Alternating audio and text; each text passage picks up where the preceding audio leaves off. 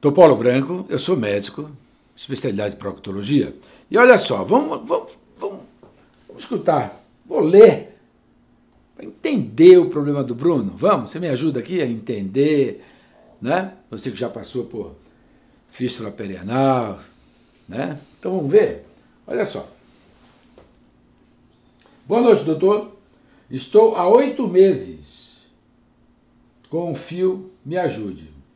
Estou há oito meses com este fio, me ajude, é fio de cetom. Preciso fazer de novo a cirurgia. Como posso ter uma consulta com o senhor? Né? Olha, eu respondi para ele: vou te livrar deste sofrimento. Fio de cetom é um sofrimento para o cara mais novo. Sofro de. Eu recebo toda semana muitos pacientes. E-mail, zap, comentários. Muito qualidade de vida muito ruim do Ceton, imposta por isso a eles. É, é, vou te livrar deste sofrimento de andar com o fio de cetom, que te impõe uma péssima qualidade de vida. Impõe. O paciente aqui que eu já fiz vídeo, com dois anos trocando cetom, o cara trocou dez vezes de cetom. Ele não resolve, ele só troca o fio. Tem fio tem que ser retirada. Vamos ver, vamos discutir aqui, ó. Então olha só, vamos ver aqui. Olha o cetom aí. Viu o cetom? Cetom é esse fio que passa pelo trajeto amarra né? e das fístulas transesfincterianas, aquela que passa pelo meio, o trajeto da fístula passa pelo meio do músculo anal, esfíncter interno. Eu sempre falo isso com o médico com medo de na hora de tirar a fístula, cortar o músculo e continência anal, ele passa o fio. Não tem problema nenhum, o fio.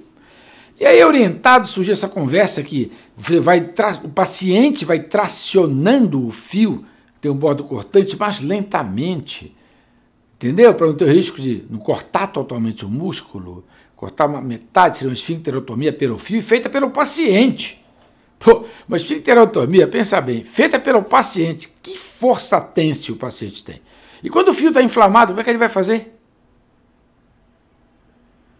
Hein, proctologista? Como é que ele vai fazer? Tá vendo aqui, ó? Olha o fio aqui. Fio de cetom, olha só. Cetom, força para cortar. Olha só, olha como fica. Olha essa malha de fios. Essa malha de fios. Esse labirinto que fica, ó. Verdadeiro labirinto. Foi o paciente que eu operei. Tirei essa, essa cordoalha do ânus do paciente. Olha esse monte de fio. Olha só. Até você entender, você colocar GPS aqui. Você colocar GPS para entender o que foi feito. Né?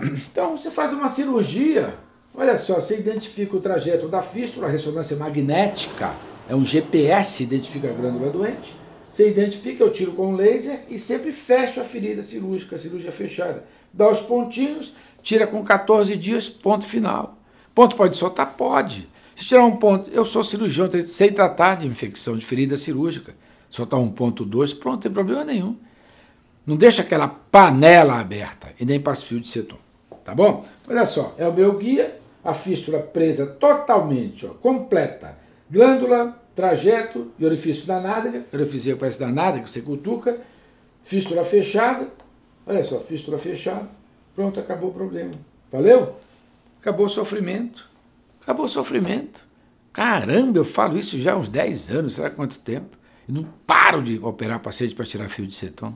Tá bom? Entra no meu canal de vídeos proctologista do produção de 15 a 20 semanais para tua educação, para tua saúde proctológica. Este canal de vídeo vai lá no meu site Atlas. Muitos artigos no meu site Atlas, muitas fotos para você ver. Quer ver fotos sobre fio, fissura, fístula, as técnicas cirúrgicas? Vai no meu site Atlas, drpaulobranco.com.br. Redes sociais, Facebook, Instagram, arroba proctologista, tá bom? Um abraço e até o próximo vídeo.